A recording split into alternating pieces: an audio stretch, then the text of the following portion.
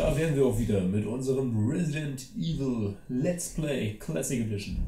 Andi ist immer noch bei mir, der junge, hübsche Andreas, und wir spielen immer noch Resident Evil. Wie Sie sehen, sind wir jetzt hier wieder im Lager. Wir haben gerade abgespeichert und jetzt gucken wir mal, was die Zombies uns so sagen. Und ob wir das hochwertige Rätsel von den drei verschiedenen Wappen, die uns noch fehlen, lösen können. Ja, genau. Ich würde sagen, schön noch ein Wappen sammeln, noch ein zweites und ein drittes und dann äh, geht es ab in den Garten. Schon noch eine Waffel unterwegs. Oh ja. Bazooka, da freue ich mich schon drauf. Schönes bei. Oh, Oh. da steht auch schon wieder. Der, Ja, torkelt, nicht der der. Der kriegt dich auch Aber nicht mit uns. Kriegt mit dich. uns. Oh doch, der kriegt dich. Er kotzt, er kotzt mich an. Ja, kannst dich Er an. findet die alle zum Kotzen. Oh, der ist noch nicht mal platt. Der steht nochmal wieder auf. Oh, da ist hier noch einer. Ja, der ist platt. Oh, ich renn mal lieber. Ja, renn mal, renn mal erstmal weg. ja, es ist manchmal schwer. Es ist manchmal Das ist natürlich. nicht ganz Nur einfach. weil es alt ist, heißt ja noch lange nicht, dass es auch automatisch leicht ist. Das ist richtig.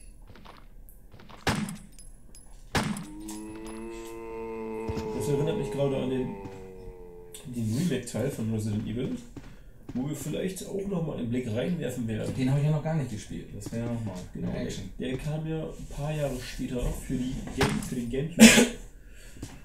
Und ist natürlich Verbessert? das ganze Ding nochmal als Remake neu aufgelegt. Ja, ja. Dann mal gucken. Vielleicht machen wir nochmal eines Tages ein Let's Play Resident Evil Remake Edition Ja, das wäre gut. Wäre ich auf jeden Fall bei. So, die Zombies sehen natürlich alle gleich aus. Kann man natürlich Ah. fragen, wieso Jetzt hat er dich. hatten die Lobbydesigner nicht so wirklich Lust, vielleicht sich was einfallen zu lassen. Aber in, in, ja, ich denke mal, wir dürfen uns nicht beschweren, das ist von 96. Und wenn es da drei verschiedene Zombie-Typen gab, dann waren wir schon zufrieden. Richtig. So, ich benutze erstmal das First Aid Spray, was unsere HP wieder auf Full Maximum beschleunigt. Denn der Kollege hier hat uns ja doch schon gerade ein bisschen angefressen. Ja, richtig. Er hat ja richtig Hunger gehabt, der Junge. Ja, ein bisschen Fleisch muss sein. Ich sag ja, ein Steak ist natürlich eine, immer eine gute Sache. Oh, hier. So, wo sind wir denn hier? Wieder ein weiterer unbekannter Raum. Es ist aufgeräumt hier. Klar, Das Buch könntest du dir nochmal schnappen. ganzen Was ist so unauffällig? Was liegt denn da im Raum? Botanikbuch über medizinische Kräuter. Ja, Also 100%. Den ganzen Dunst werden wir uns jetzt nicht durchlesen. Nee, mit Sicherheit nicht. Aber vielleicht wird uns das ja später noch mal bei irgendeinem Rätsel behilflich sein. Wer weiß. Vielleicht muss man ja irgendwann noch mal ein Rätsel lösen mit irgendwelchen Pflanzen. Ja, richtig. Weiß man alles nicht so genau. Hier noch irgendwas, nichts Ungewöhnliches. Alles klar. Da kommst du her, genau. Also, Oh, nichts Ungewöhnliches. ich sag das jetzt so, weil wir einmal im Kreis gelaufen sind. Also von daher, da würden wir da rauskommen, wo die Treppe ist. Da wollen wir erstmal nicht hin. Nein, da wollen wir nicht hin. Wollen wir erstmal die schönen Zombies jetzt. Wir, müssen, wir sind ja immer noch auf der Suche nach den drei. Da können wir uns ja noch mal überlegen. Hier war die erste Tür, wo wir Richtig, rauskamen. genau. Rechts müssen wir lang. Hier war auch noch ein Wappen. Oder Ja, aber da kommst du nicht rein. Da kommst du nicht rein, da hast du ja gar keinen Schlüssel für. Ja. Da müssen wir uns ja erstmal schön die Schlüssel Das besorgen. ist fest verschlossen. Rüstung, genau. Die Rüstung. Rüstung, Rüstungsschlüssel können wir uns gleich unten holen. Da steht doch schon der nächste Kollege. Oh, oh, oh. Ja. Hallo, hallo. Ich weiß auch, wo wir uns den Schlüssel herholen können. Gleich im nächsten Atemzug. Müssen wir uns einfach. Ja, ist er tot oder? Ah, Nee, ich glaube, er ist noch nicht. bin noch nicht sicher. Nee. Macht er Zockung. Wir haben gleich keine Munition mehr, ne? Oh, das stimmt allerdings. Nur mal so nebenbei. Ja. Sieben Schuss. Ja, zehn Schuss. Also wir müssen jetzt schon. Einen Zombie kriegen wir damit noch hin, aber. Das ist noch alles. Willst du hier rein oder? Ne, geht gar nicht, glaube ich. Das ist ja nachher. Der Sch. Oh, oh. Da ist der Punkt. Punkt. Oh, Ah, hey. Oh, hey. Oh, old partner. Joe, What's going Wie on? sieht das aus? Any Ist ein clues? Weapon, sagt er jetzt, No, ne? Ja. but Very something's powerful, wrong blah, blah. in this house. Zu nice für ihn, ne? Ja, This hall is dangerous. genau. Maybe it's better Leider geil. our escape first. Geiz ist geil, aber nicht für There Barry. must be a back door somewhere. Barry ist auch schon ganz cool. Let's try to find it Ja, first, shall we? Gut drauf. Okay, let's separate again. Just a moment. Let's I found separate. something. Der typische Spruch What eines? Horrorfilms. It's a So weapon, soll man auch zusammenbleiben, wenn really alle sterben und dann rum. especially Kann man sich doch mal trennen. Ja, die Überlebenschancen sind für jeden? 50% höher. Ja.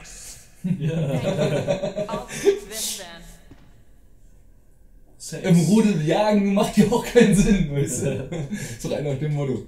Oh, schöne Säurepatronen, die sind ja auch geil jetzt. Da können wir uns eigentlich mal irgendwie. Aber wir müssen aufpassen. Ich würde vorschlagen, dass wir diese. dass wir die Bazooka noch aufschonen. Ja. Lieber die Schrot wegknallen, anstatt die Bazooka. Die können wir müssen mal den ein oder anderen Zombie umgehen. Hm. Naja, Oder was sagst du dazu? schlechte Idee. So. Also jetzt ja sowieso. Erstmal, weil wir ja zur nächsten Kiste müssen, da müssen wir erstmal die Schrot rausholen. ja, wir müssen auch gleich, glaube ich, den Schrot wieder benutzen. Munition brauchen wir, ja. Weil irgendwie ist das ja doch nicht geworden. Hier, hier haben wir jetzt nochmal Oh, Raum mit Blumen. Nochmal alles schön, Schön aufgeräumt. schön auf der Dachterrasse, ne? Mhm. Jetzt ab hier.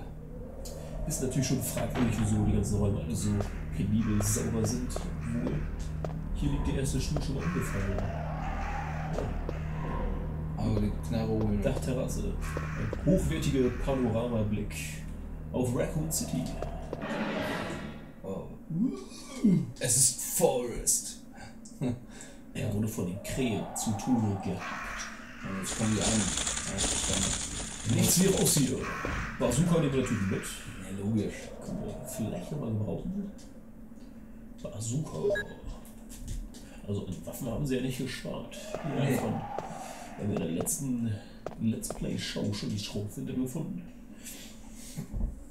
Ja. Nur die Munition ist irgendwann mal schon knapp, wenn man nicht von Anfang an daran arbeitet, erstmal die Munition zu verbrauchen, womit man jetzt leichte Gegner wie die Zombies platt machen kann. Das ist eben halt das Problem. Da muss man ganz, das ist ein ganz klarer Spieletipp, würde ich sagen. Wenn ihr gleich die Bazooka verballert und alles, dann ist Feierabend nachher. Oder es wird nicht leichter, sagen wir es mal so. Andreas Weisheiten am Abend können natürlich jedermann. Wollen wir da schon reingehen? Oder sind ja auch zwei Zombies? Ja, gehen wir jetzt mal rein da. Ich bin ja dafür bekannt, dass meine hochwertigen Spielefertigkeiten den ein oder anderen nochmal überwältigen können. Achso, wofür braucht ihr mit dem denn noch? So, den kann ich jetzt auch mal von mach Latz hier. Ja klar, hol den einfach um. Den, ah, den, den tanzen wir dann so lange aus, bis wir die Statue, die ja ganz komischerweise nicht in den Raum passt. Das soll aber schon Gas geben, ne? Der hält natürlich einiges aus. Ja, dann renn mal rum da, mal gucken. Der ist bestimmt tot jetzt. Im Sinne? Ja, der ist tot. Also hier haben wir ein Loch, da ist eine Statue, da oben sehen wir irgendwas Blaues blinken. Kann man sich ja vielleicht schon denken, Richtig. Für was? was wir damit machen. Ja, aber. Genau. Ah, warte noch ein bisschen ab, bevor der Ja, umdreht. dass wir noch ein bisschen. Oh, Oh. oh, der Junge. Falsche Richtung. Komm her, komm her. Komm zu Papi. Wie viel Munition hast du noch? Fünf Schuss? Zwei Schuss? Komm zu Onkel Bronze. Ist zu wenig, ne? Ein Schuss. Oder Auto oder was? Ein Bazooka. So eine Sache. Bazooka ist natürlich für einen Zombie ziemliche Verschwendung. Ja, mehr als das. So, jetzt kommt er aber hier. Selbst Schrot ist Ja, da richtig Hunger. Da hat er richtig Hunger. Er kann seine Arme gar nicht mehr nach unten halten, so viel Hunger. Ja. Kann der schon wieder in eine andere Richtung? Oder? Nö, Jetzt, haben wir- jetzt können wir aber hier die Statue bewegen. Jetzt haben wir Zombie ja weggelockt. Siehst du, Ja, da rennt er schön gegen die Wand dahin. Kommt überhaupt nicht klar. Genau. Ja, Ja, schön ein bisschen, Rollerketten. bisschen voll. Ja, das wäre schon der erste. So viel V plus Corona getrunken. So, da unten ist jetzt irgendwas blaues, was Achtung, immer. Achtung. Aber wir gehen natürlich erstmal in die nächste Tür, bevor wir uns unten dem Blauen widmen. Ja. Schön abarbeiten, die ganze Session. Ja, hier, guck mal, da ist die Uhr, genau. Uhr. Und ich glaube, die Uhr kannst du. Nicht, die kann ich nicht verschieben. Nein, die kann. Nee, genau, das war wegen dem Emblem, genau. Das Emblem muss getauscht werden. Das könnten wir eigentlich gleich mal machen. Weil da sind auch wenig Zombies. Kann man das jetzt schon machen? Ja, kann man. Ja, klar, kann man jetzt schon machen. Aber du brauchst den Schlüssel für den anderen Raum. Dann machen wir gleich. Aber hier ist auch erstmal Zombie. Oh, oh, da kommen wir jetzt gar nicht durch. Vielleicht gehen wir mal irgendwo unten. Unten könnten wir weiterlaufen. Ja, nee, komm, wir machen den nehmen wir auch noch mit hier jetzt. Ist egal. Die beiden. Die beiden dann. Dann können wir dann hier eins durchhaschen. Warte aber ab. Die müssen ganz nah an dir dran sein, dann fällt der Kopf nämlich auch weg. Ja. Das ist nämlich auch so ein Tipp. Wenn die ganz nah dran sind, auch mit der Schrot, wenn die ganz nah dran sind, brauchst du nur einen Schuss anstatt zwei. Oder drei. Ja. So, ja. Sauber. Da ist natürlich alles von ihm gefetzt, was nur weggefetzt werden kann. Da ist noch einer. Irgendwo. Da, ja. So cool. Der wollte noch kotzen, aber das konnten wir gerade noch so verhindern. Jetzt, wenn unten noch einer sein sollte, brauchen wir nicht mehr uns um den kümmern. Weil unten ist nämlich dieser Raum wieder, ne? Die ist fest verschlossen. Es ist ein Helm. Und da hinten ist äh, ein Zahlenschloss. Ein Code, den du drücken musst, aber den haben wir ja noch nicht. Aber wenn du jetzt nach unten gehst, kannst du am besten gleich rechts gehen. Schön in die kleine Truhe. Könnten wir wieder Munition rausholen. Und die Schrotflinte, würde ich sagen. Ja, richtig. Und dann können wir die Bazooka weglegen. Dann kommen wir gar nicht erst in Versuch. Genau. Schrotflinte ist ja doch schon ziemlich krass. Im Gegensatz zur Pistole. Hier sind überall Zombies, überall Zombies. Da fragt man sich, wo stehen denn noch die Zombies in der Director's Cut Edition? ja, richtig. Das stimmt.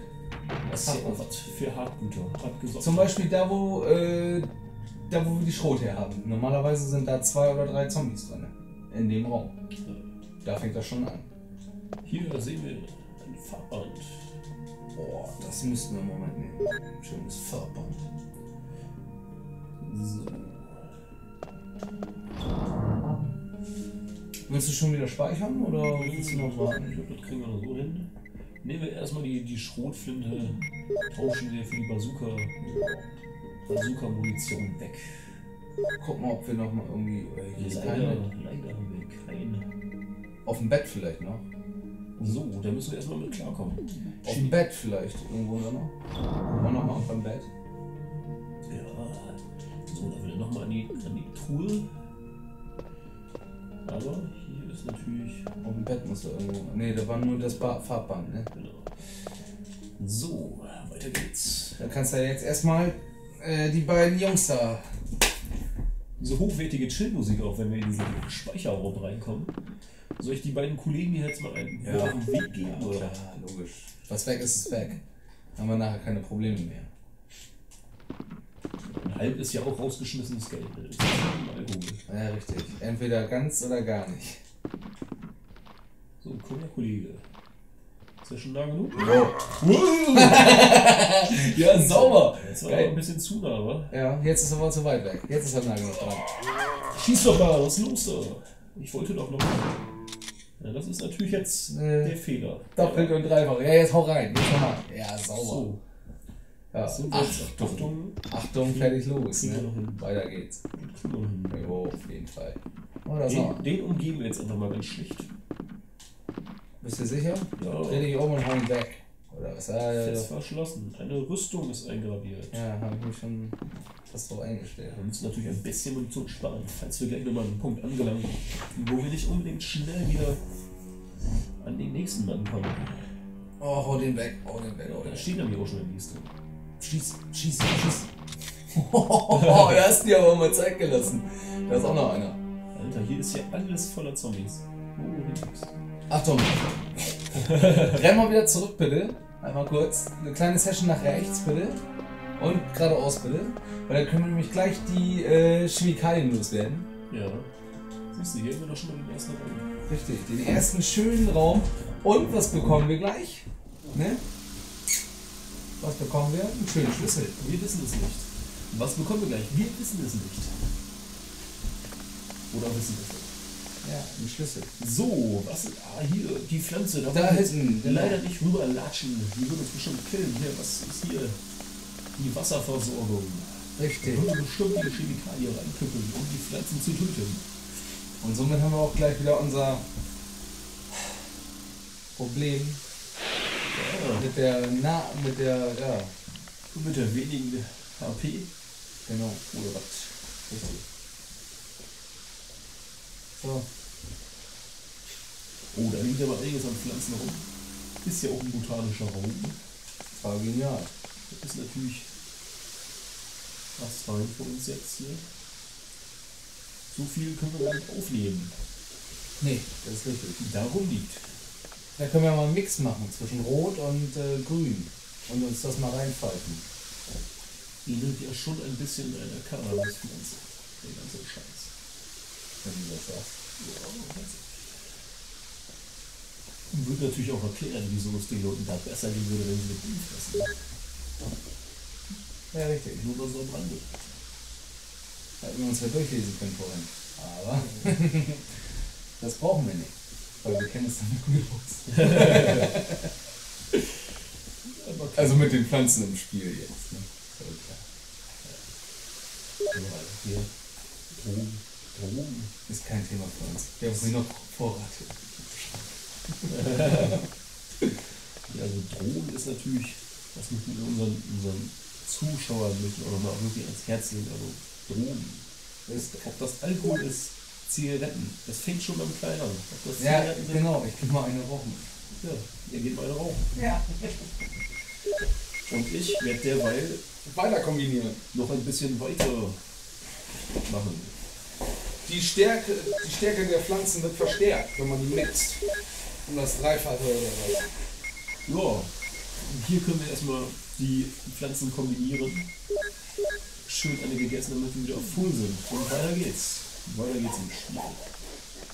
Krieg einen Schlüssel. So, Andi, soll ich jetzt eben warten oder?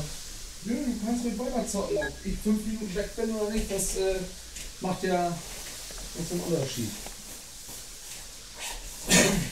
Ein Schlüssel, der erste Schlüssel im Spiel. Möchten Sie den Hernau-Schlüssel nehmen? Ja, natürlich. So viele Türen mit Schlüsseln öffnen können. Fragt sich natürlich erstmal, was ist das für ein Schlüssel? So. Eine Rüstung ist eingraviert.